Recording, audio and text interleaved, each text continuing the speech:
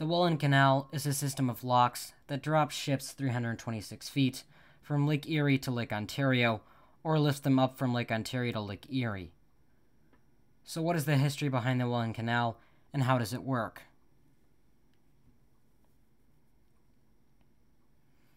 One hundred ninety-nine years ago, or in 1824, Canadian politician and entrepreneur William Hamilton Merritt proposed the idea of a canal to bypass the Niagara Falls.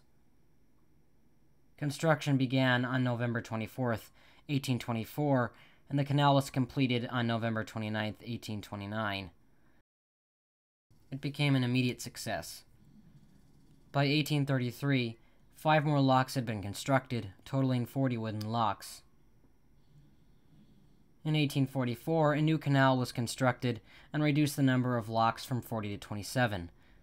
These new locks were made of limestone and increased the width from 22 feet to 26 feet, and increased the depth from 6 to 8 feet.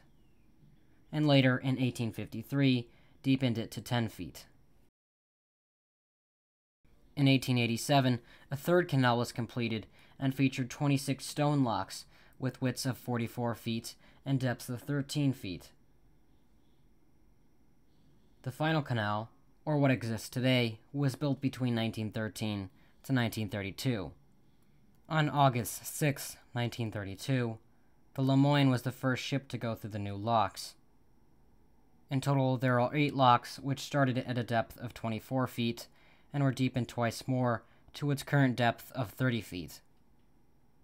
Each lock measures 80 feet in width and 859 feet in length, except Lock 8, which is 1,380 feet long.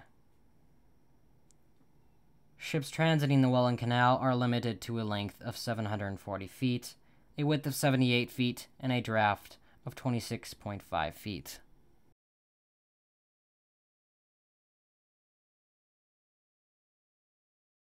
Lifting a 30,000 ton ship may seem like an impossible task, but every day ships of this size are lifted and lowered in the eight locks of the Welland Canal. Once a ship enters a lock, it is tied to bollards to keep it secure. Then, before the lifting or lowering process begins, the gates are closed. Gravity and water is then used to either lift or lower the ships.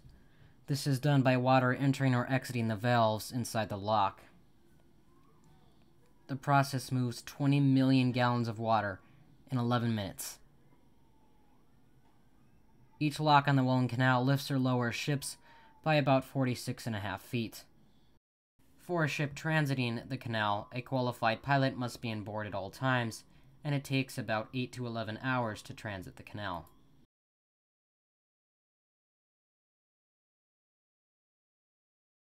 In 2022, 37 million tons of cargo moved through the Welland Canal. The canal supports around 300,000 jobs and has an effect of $60 billion on the US and Canadian economy. Various cargoes like grain move through that are destined for ports all over the world. The canal also sees the movement of iron ore for steel plants, among other cargoes. In addition to its impact on economies, the canal also boasts low emissions and plans to lower that number even more in the future.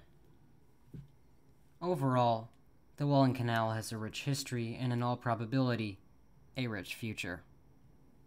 Anyway, subscribe for more shipping information, and I'll see you in the next one. Goodbye.